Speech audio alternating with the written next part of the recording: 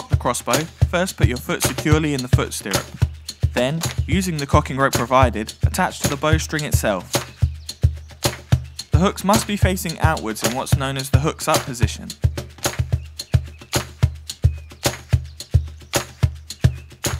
When cocking the crossbow, instead of pulling with the arms, seat your foot in the stirrup and lean back using your whole body. This will make the bow much easier to cock and will reduce fatigue and minimise the risk of injury. Now, a leading cause of dry fire is not cocking the bow to completion before letting go of the rope, so, to ensure that the crossbow is fully cocked, give the rope a few pulls before releasing. The bolt must be loaded with the odd coloured fletching facing downwards.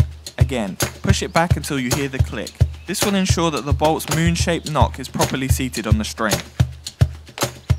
Whilst the crossbow is cocked, do not place your fingers inside the string and always ensure that you are wearing the appropriate protection.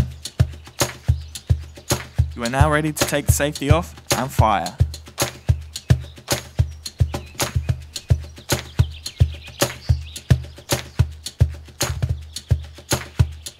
Choosing the right bolts is important not just for accuracy, but also for safety. If the bolt is too short, it risks hitting the inside of the limbs and damaging the crossbow and injuring yourself or others. This carbon fibre bolt is of a much better length as it protrudes past the end of the rail.